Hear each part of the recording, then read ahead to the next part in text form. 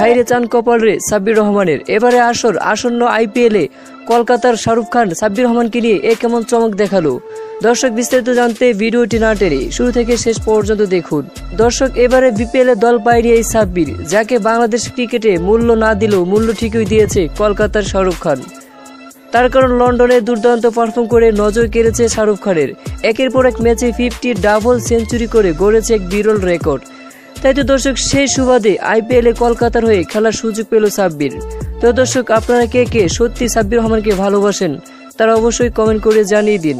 আর হ্যাঁ এতক্ষণ সঙ্গে থাকার জন্য আপনাদেরকে জানাই ধন্যবাদ।